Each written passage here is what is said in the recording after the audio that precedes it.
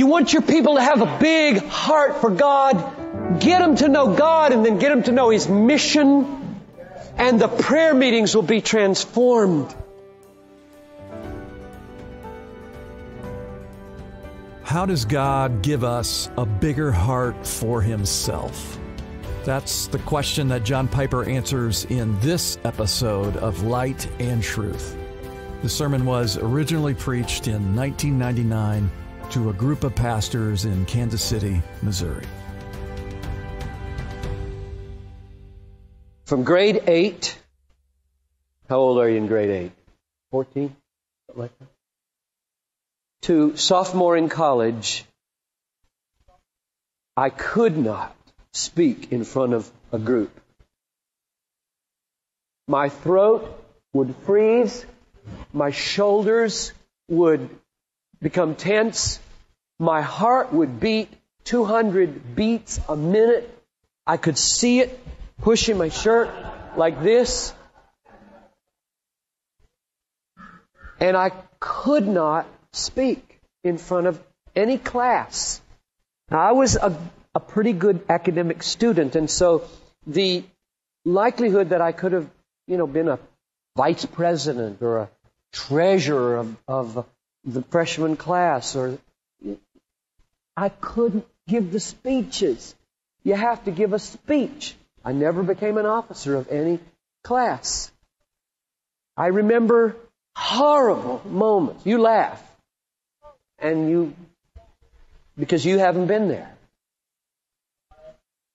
You only, you only think I'm talking about butterflies that all of you have and how hard it is for you to get up in front of a group. But you can do it. I couldn't. And I remember thinking, they want you to read a report of your science project in the ninth grade. I sit in the middle row, halfway back. This day is emblazoned on my memory, as are many others. I have a half a page written about my balloon experiment. Static electricity makes balloons stand apart from each other. And I got a paragraph written, and I said, maybe instead of putting it in a piece of paper that would make noise and shake, I will put it on a firm spiral binder. And I sat there and up, read, 30 seconds, sit, up, read, 30 seconds, up. And here it comes down the line toward me. And what happened inside of me was just horrible. I mean, my, I could hardly breathe. My, my shirt was moving with my heart. My hands were shaking. My voice was totally closed off. And when the person in front of me got up to go speak, I got up and left the room, went to the bathroom, and just cried and cried and cried. That's ninth grade. And went back and hoped they wouldn't, she wouldn't call on me. And I just said to her after class, couldn't do it. Civics, 10th grade. John, you have to give an oral book report. I can't give an oral book report. Well, if you don't give an oral book report, you can't get better than a C in this class. I'll take a C. I took a C. It's only C I made in high school. That's the way it was. And my mother took me to a psychologist. Now, this is 1962. One. Nobody went to psychologists, especially Christians. And uh, this woman had me look at some Rorschach charts. Tell me what I saw. I didn't tell her what I saw. And uh, when she was done, she said, It's my mother's fault. I was so mad, I stomped out and never went back. But I said, There's one person in this world who understands me. There's one person in this world who's getting me through. There's one person in this world who rubs my back at night when I'm crying and crying. There's one person who suggests that maybe at training union next Sunday, when I've got to give a one minute thing, I would put it on a note card and lay it on a big, big wooden thing, and maybe that would help. And you're telling me she's the problem? I'll never see you again.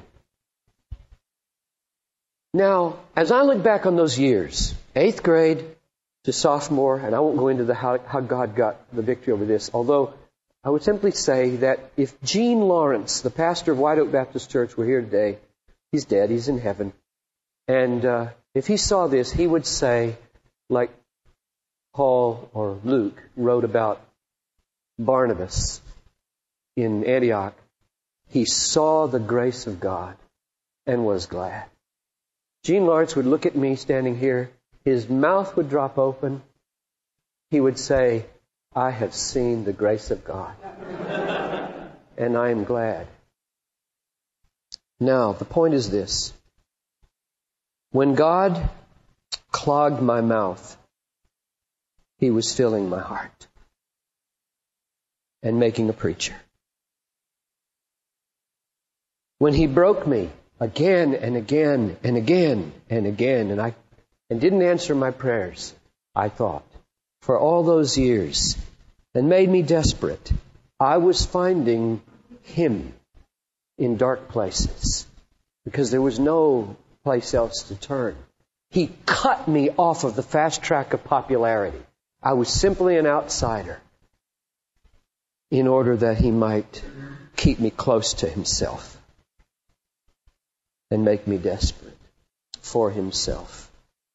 I really do believe he was making a preacher in those days. Because to be on the fast track of popularity and to find it easy to speak doesn't make a person deep,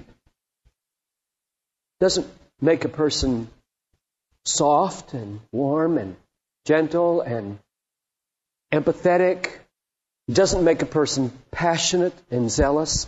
It just makes a person glib and popular. I view now, though I don't laugh and I don't minimize it, I go to creativity nights at my son's schools where you have to all do something oral in public, and I watch one tall, gangly fellow with pimples.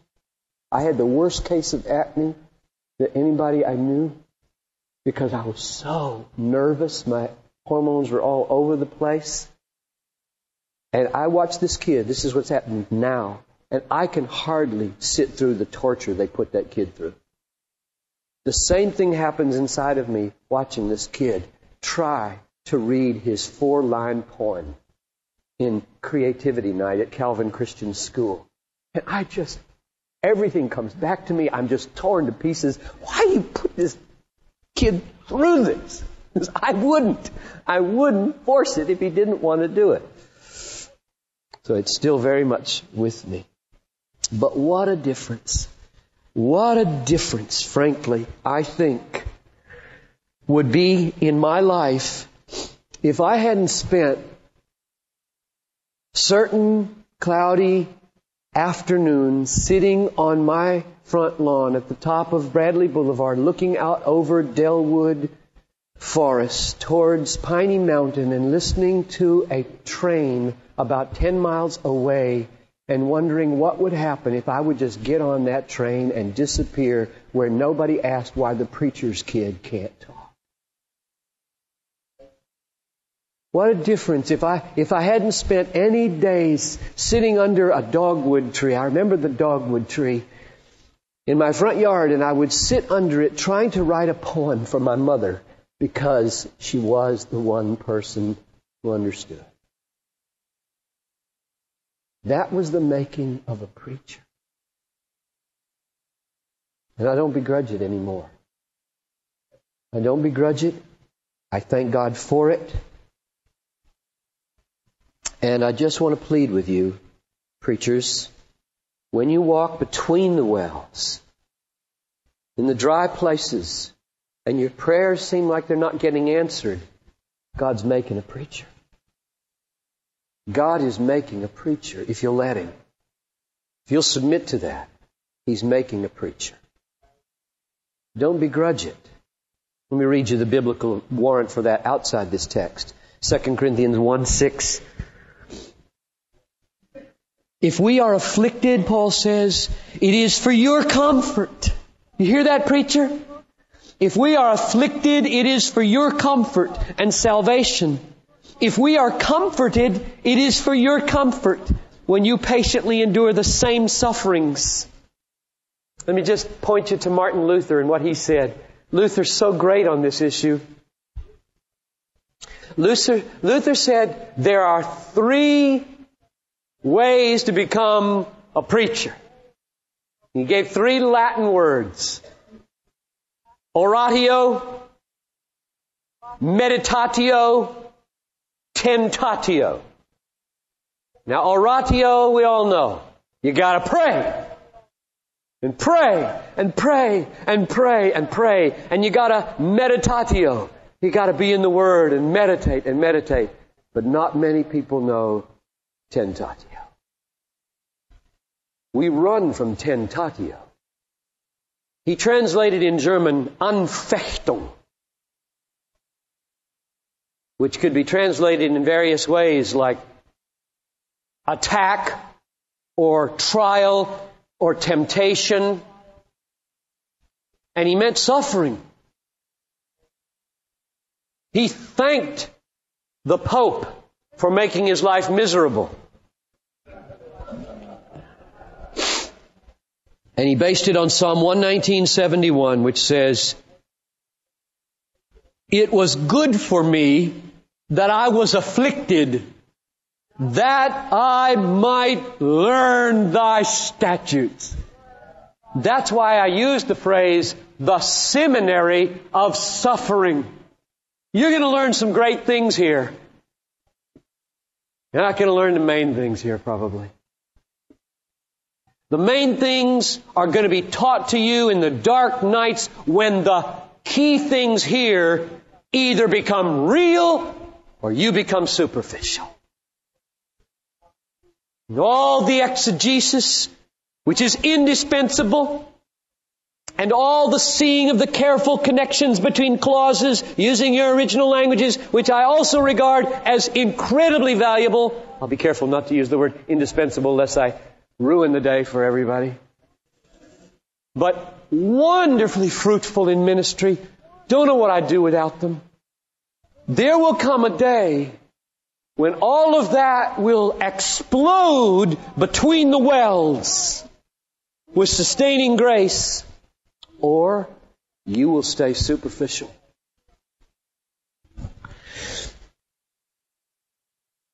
Last night, not everybody was here, of course but I put it in the form of a poem. Sustaining grace is not grace to bar what is not bliss, nor flight from all distress, but this, the grace that orders our trouble and pain, and then in the darkness is there to sustain. And you won't ever discover that except between the wells. So don't murmur, and don't get angry. Humble yourselves under the mighty hand of God. Cry out with David, How long, O Lord? And say with him in Psalm 40, I waited patiently for the Lord. He heard my cry. He brought me up out of the desolate pit, out of the miry bog. He put my feet upon a rock. He made my steps secure. He put a new song in my mouth. Many will see and put their trust in the Lord. That may take five years. There's nothing in that psalm that says how long you'll be in the mire. I have a man in my church who came to us from Arizona depressed. And he was depressed for eight years, scarcely able to function. Would come to church and sit there like a zombie. And one day, being saturated in prayer all these years, being surrounded with the Word of God, with good biblical counseling, he came to, like a prodigal son. He stood in front of the bathroom door and woke up as though from a dream. And for the last seven years, has been one of the most fruitful ministers of our church.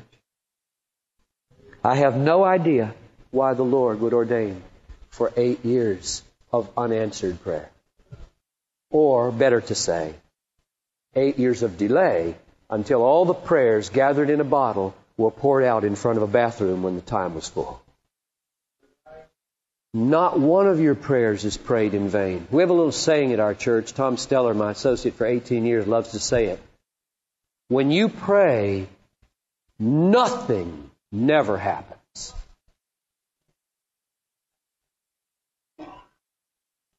God stores up your prayers in a bottle, and in time, He will pour them out.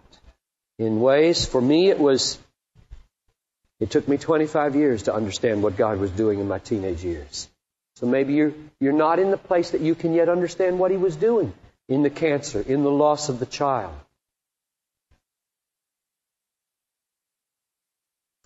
Back to the wells. With joy, you will draw water from the wells of salvation, and you will say in that day, you will say, in other words, preaching is born out of drinking, which sustains you through the wilderness. You will drink and you will say, and maybe in closing, I could just point to two, two kinds of saying. And I'll leave off a large part of this message just because I've brought in too many parentheses and we're going to be out of time. But the first thing you're going to preach is missions mobilization. Isn't that amazing? Have you noticed that? Did you notice this? Look. With joy you will draw water from the wells of salvation and you will say in that day, what do you say? What do you preach when you come up from drinking God at the bottom of this well? You will say in that day, here's what you say. Give thanks to the Lord. Call on His name. Make known His deeds among the peoples. Alright. Now think about this with me, pastors. I want to leave this with you and maybe this is okay. This is ordained of God, but I can only get this far in my talk. Because this may be where He wants me to end. This may be His word to you. Say to your people, make known His deeds among the peoples. Notice, it isn't when you come up from drinking, Pastor, make known His deeds among the peoples. It's not what it says. It says, say, make known His deeds among the peoples. Meaning, preach missions mobilization. And here's the lesson I've learned for 20 years now about missions mobilization. If you want to excite your people about world evangelization, don't talk about world evangelization. Talk about the God of world evangelization. People are so tired about hearing about the cooperative program. And I only mention that because I could say the same thing in my denomination about our cooperative program, which I believe in. And I praise God for the cooperative program. There wouldn't be, what, 3,500, 4,000 missionaries on the field today without that amazing cooperative program? But I'll tell you, that doesn't turn anybody on, especially young people in the churches today. But tell them about God and the triumph of God in world evangelization. Tell them about unreached peoples where He means to have worship from those people. And then give a little footnote. You want to know how to get there? Be a, what do you call them? Sojourners? No, that's not the word.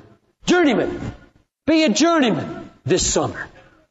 And then journeyman gets tacked in to God and the vision of God to finish the Great Commission and see that He is worshipped and praised and exalted among the Dongxiang of northern China where there isn't anybody right now. Get Patrick Johnstone's book Operation World. You may have a Southern Baptist counterpart to that, I don't know. But be willing to reach outside your denomination and take some of these broader evangelical tools by which you can discover a people group for every day of the year and pray over them and pastors, if you burn for this, they'll get it. And then you'll see missionaries over the years begin to rise up. You'll see people praying for missions. They'll stop praying for Aunt Mary's toenail at the at the at the prayer meeting. They'll stop saying, "I got three un, unspoken requests tonight." And sit down. What's this unspoken request? Sir? Just pray. Pray for the world. You want your people to have a big heart for God? Get them to know God and then get them to know His mission.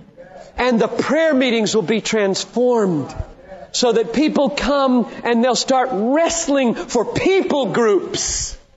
They'll start wrestling against the powers of darkness over the Muslim world. No, you will feel like life has come. Life has come. So I get that, and I think it's legitimate to get it from this text. When you drink from the wells of salvation, you will say, Pastor, you will say, make known his deeds among the peoples. One last thing. What else will you say? You will become a missions mobilizing pastor and you will become a God exalting preacher. Now I've said it already, but I'll close with it. It's in verse 4. You will come up out of this well when you're drinking and you will say, give thanks to the Lord, call on His name, make known His deeds upon the peoples, among the peoples, proclaim that His name is exalted. In other words, you don't just get them to go, you give them the message. What are you supposed to proclaim when you go? And the answer is, say, God is exalted. His name is exalted, and we know His name. It's a name that's above every name. It has a human face. It's Jesus Christ, who will one day be Lord of Lords and King of Kings when His whole kingdom comes on this earth. You tell your people, that's our message. Fill your mouth with the glories of Jesus and you try to build, one of the reasons for preaching a God-centered gospel is that they will feel their hearts growing and exploding with a message worthy of about a billion Muslims. I mean, we can be overwhelmed with the thoughts of the Hindu world and the Muslim world. You can be absolutely overwhelmed with the unreached peoples unless the pastor has not been giving little psychological how-tos to get along but has been saying, our God reigns and He can do this. He can triumph over the Muslim world. He can bring peoples to Himself from every people and tribe and tongue and nation.